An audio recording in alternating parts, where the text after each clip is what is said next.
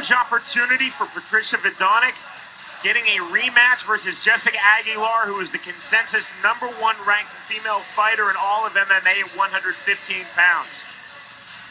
These two fought February 2012, and it was Aguilar winning a unanimous decision. Vidonic said, I did everything wrong in that fight, and I know what to do right this time around. Which is pretty much what you would expect the fighter to say. Yeah, right, that's what you gotta say. time around. Say anything you want beforehand. You got to back it up in the cage. Let's see how she does against the number one in the division. There she is, Jessica Aguilar. Born in Mexico, based here in South Florida out of Coconut Creek, extremely popular in her home state, extremely popular in women's MMA. Looking for her 15th pro victory. A lot of pressure on Aguilar carrying that label, number one ranked female fighter in the world at 115 pounds. I don't think that gets to her. She loves to fight, always has a positive attitude. Let's see what happens tonight.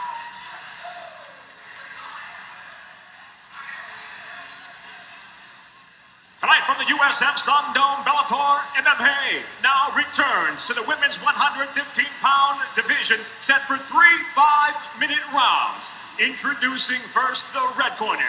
At five foot two, she weighed in 115 pounds. Her professional record: seven victories, four defeats. Fighting out of Billings, Montana, Little Patricia Vadane.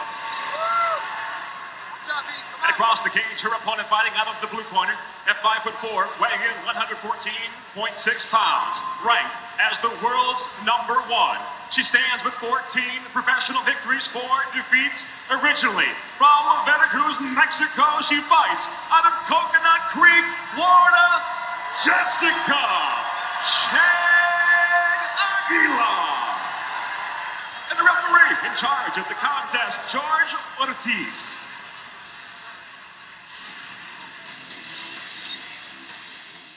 Here we go now. Here we go now in the women's 115-pound division. Patricia Vidonic versus Jessica Aguilar. Our tale of the tape is brought to you by Dave and Buster's. Visit daveandbusters.com. And the reason she is number one, 14 and 4 against outstanding talent, some of the best in the world for Jessica Aguilar. Round number one.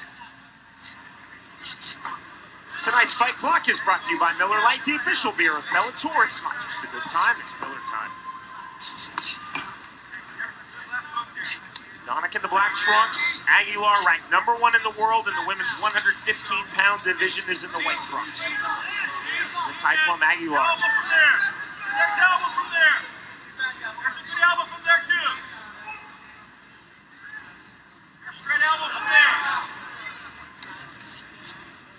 Don trying to throw to the body. Nice switch to the double leg. Straight out, out of the cage. Out of the It's like right now the cage is holding her up. There's the takedown by Aguilar.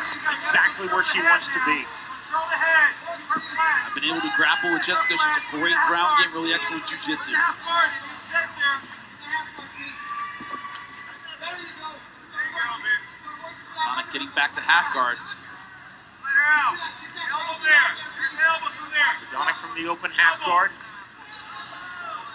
A lot of heavy top pressure from Jessica Aguilar. Again. Nice. That's a good knee there over the arm. That's a good knee over the arm. There you go. There you go. Right? Aguilar's so methodical with her jiu-jitsu, with her grappling. And with her striking too, very patient, very tight, hard to find an opening on her. Let's break this neck tight. Break this neck of the neck. Get the elbow from there. See here on the on. the ground, not leaving anything behind. Vidonic walking her guard up very high. Submission guard, you're looking for something there. Trying to isolate the right arm. Jessica Aguilar, but she's tough to catch. Donick trying to get even higher with her guard. Looking for wrist control from the bottom. There you go.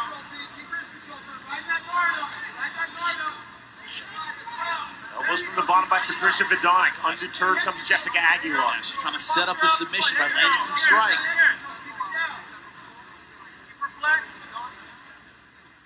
Doing good, Pete. Doing good. Ride that guard up. Ride it up. Start bumping it up. His hands on the neck.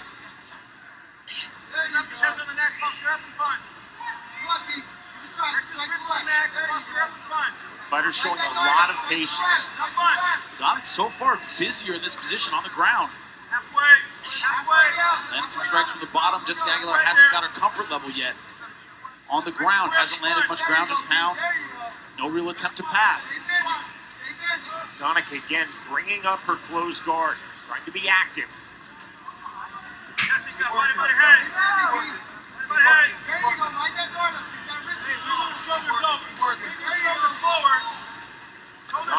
a lot from flat on her back, elbows and punches. And always aggressive, always threatening. So she's isolating that right arm. Punch, punch, punch. Got two Push, right hand. Hard to win a fight from the bottom, but so far that looks like that looks like what she's doing. There you go. Now Jack's starting to open up. Again, more that. Left elbow. Left elbow. that. More that. Left elbow.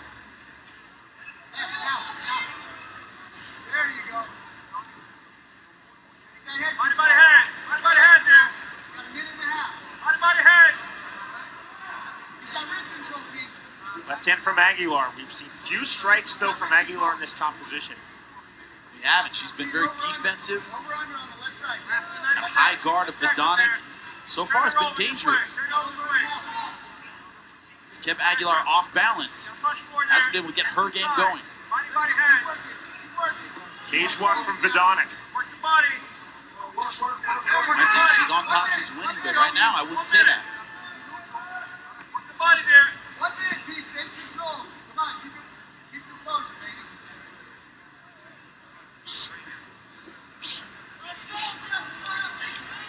Come on, Pete.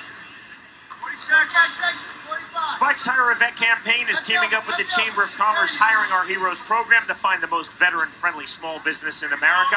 Visit vetchampstourney.com and enter to win a custom ad spot on Spike, a trip to LA for the Guys' Choice Awards. Doing good. 30 seconds. 25 seconds remaining in this women's 115-pound fight. Patricia Vidonic in a rematch versus women's consensus number one at this weight class, Jessica Aguilar. down. Give it, give it. Give it. Push, push, Get up, push. get up, get up, Pete, get up. Just looking for the up kick. There you. Aguilar right back into the top position aggressively.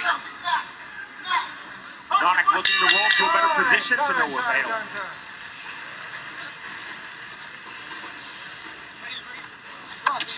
Hey, good round, baby. Good round.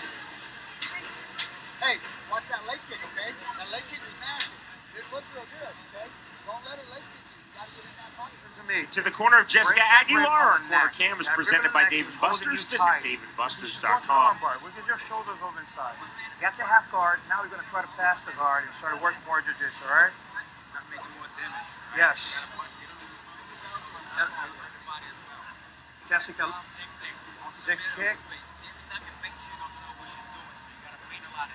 Great. Ricardo Liborio giving advice to his well. fighter Jessica all right? Aguilar. So not a thing. Thiago Alves on the other side of the cage. right there. Not a bad Drop corner to have. hand a lot, all right?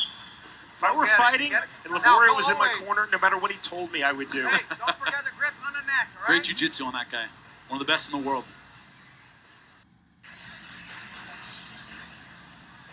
You ready? You ready? Time! Jimmy underscore club throw number one. I went 10-9 Patricia Vidonic, although she was on her back. She was landing the elbows, going for the submission. Jessica Aguilar just didn't get much done from the top. 10-9. Now that's controversial, but that's the way I'm going. Jimmy, I think that's a great scorecard, and I think that's a great illustration of when a fighter can win a round being on her back. To the uninitiated, they think anytime a fighter has the top game, they're winning, and that's simply not the case. That's not the way you judge MMA in 2013. Jimmy. Thanks, Sean. I'm glad you agree. Vidonic very aggressive in this second round.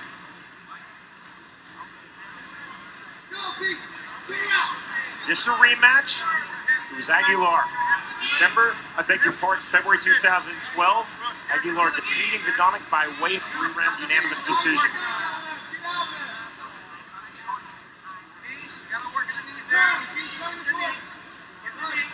Smothering pressure from Aguilar. Vidonic's back against the cage from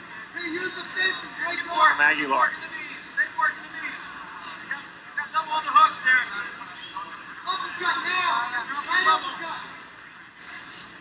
It is free, it is fully interactive, and it is highly recommended by both Jimmy Smith and myself.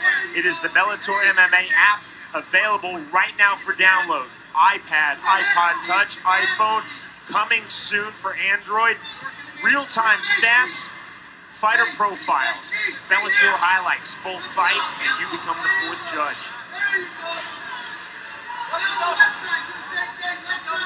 Got a good knee, good elbows. Aguilar so far denied the takedown. Robert Downey Jr. is giving a mean look right there to those two. It certainly is. It's a bit disconcerting. Might freak you out in the middle of a fight if you're not paying attention. I need from Vidonic. Good turn from Patricia Vidonic.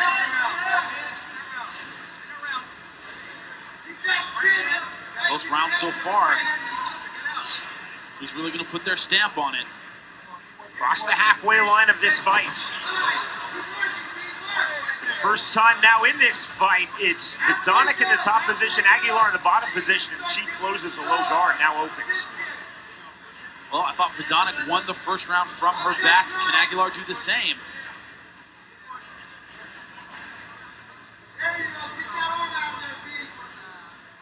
Step over with the left knee by Vidonic, isolating the arm. Defended by Aguilar to get her arm free. See Aguilar keeping her tight. Working for the triangle. You see on the what is Vidonic's left side. Working the wrist, but not able to get the leg over the shoulder. Oh, let's work, let's work, let's work. Call for action from referee George Ortiz. Vidonic obliges with two right hands to the body. Come on, you gotta work. Come on, let's work, let's work.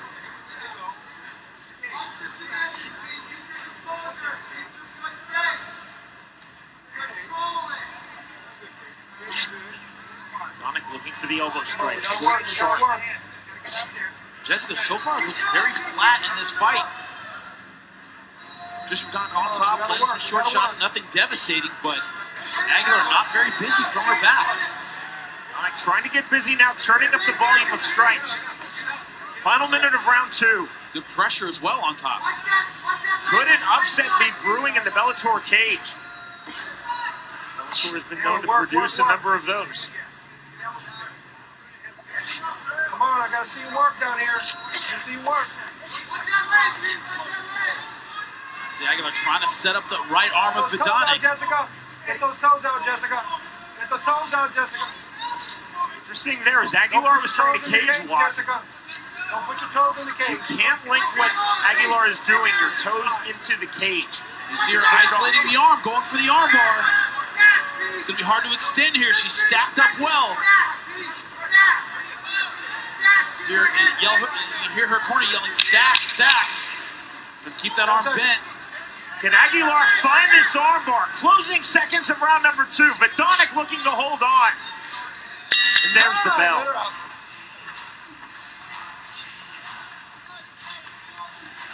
Arms raised from Patricia Vidonic. How about that?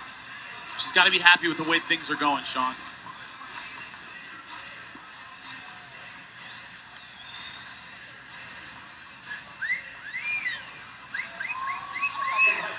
A lot of swelling under the left What are you eye of do? Jessica You're Aguilar. gonna go there, you're gonna train with her, right?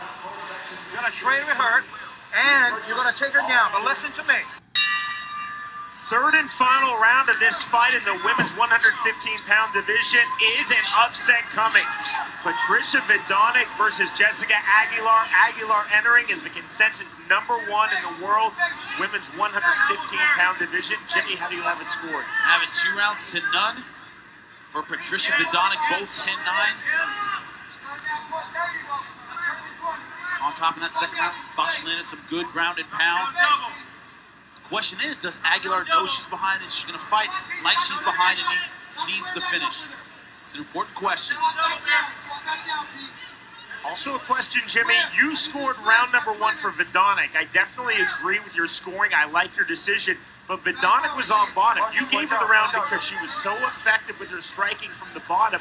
Aguilar, other than holding top position, didn't do a lot, but that's pretty progressive thinking for a judge. We'll see what the three from the state of Florida scoring Yeah, have to say. that's a very close round. It's going to be controversial either way. Knee from Aguilar. Come on, let's work, let's work, let's work. For action again from referee George Ortiz. Spread your face out. Spread, there you go. Knees. Spread that face out. Got the takedown. This time she's around the guard.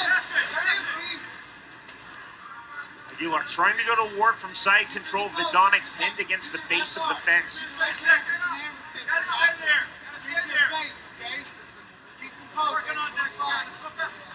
Here, Aguilar's right arm is safe. Her elbow's completely out. She's got to work hard to pass, though. Something she couldn't really get going in that first round is her pass.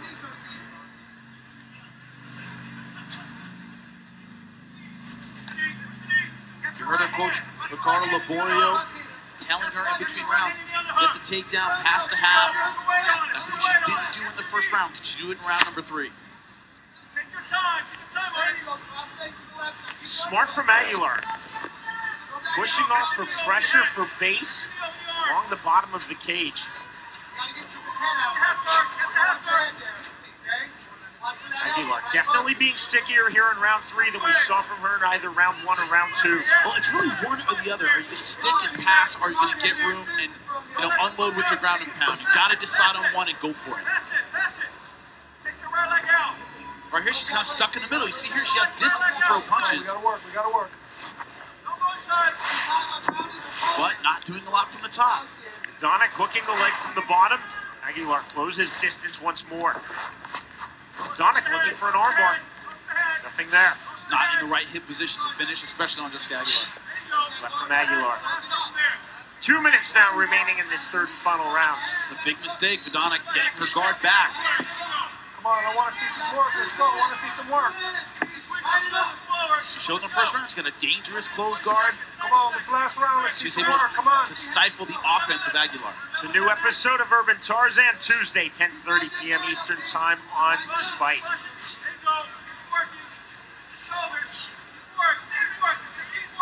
Come on, come on, come on, let's work, let's work. Referee George Ortiz growing impatient. Come You see we her gotta work a little more offensively, than. Aguilar not getting anything done. Her left arm is trapped, just released it. you gotta work. You see here, short ground and pound, but not really able to get anything going on top. Jimmy, if, rare. if referee George Ortiz stands up these two, how much do you think that Okay, favors break, break, Vidonic? And it, there that's is it. the stand-up. Get up, get I think this, the stand-up favors Vidonic a lot, simply because. Ready, Jessica? simply because she was being aggressive on the feet earlier.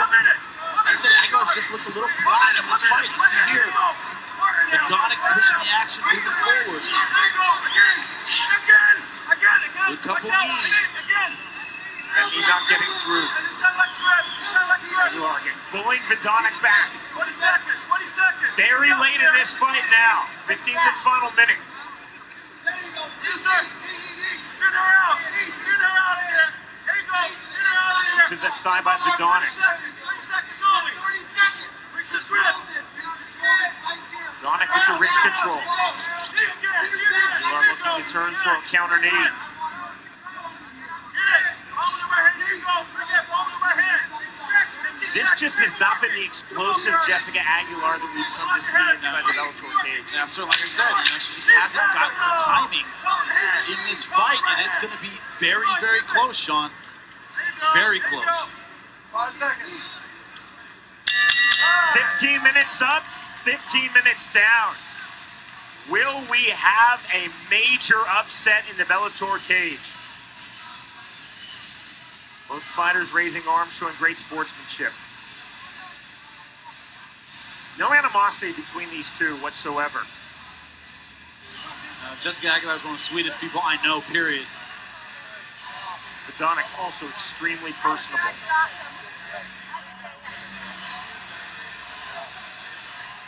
Thank you, everybody. I love you. As the first fighter to actually make cookies for Bjorn Rebney, which she did, I ate a few of them. They're pretty good.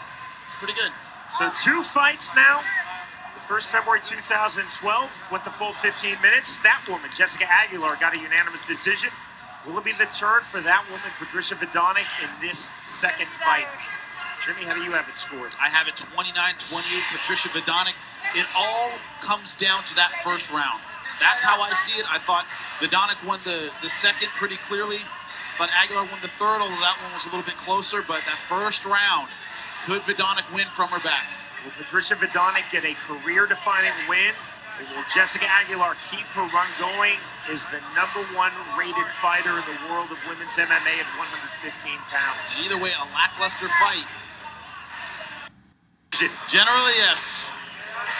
It's hard to add up a bunch of tens and nines. 10 10 9, 10 10 9, 9 Yep. 9 10. It's going to come down to that first round. I was thinking about the days of boxing in the 15 rounders, especially oh, before people had calculators, doing it all by hand in the 40s. Let's go to Michael Williams and end all suspense. Ladies and gentlemen, we'll go to your judges' scorecards where your first judge, Chris Lee, scores the fight 29 to 28, seeing the fight for Aguilar. Your second judge, Richard Davis, scores the fight 29 to 28, seeing the fight for Vidane. Your third and final judge, Mike Ross, scores the fight 29 to 28 for the winner by split decision, Jessica Jag Aguilar. Few boos meaning that decision, Jimmy. Well, like I said, a lackluster fight. You know, I gave it to uh, Vidonic, but barely. I'm not surprised that much by the decision, but uh, crowd not happy with the fight, Sean. The closest of margins, Jessica Aguilar gets the split decision win, a career pro MMA victory.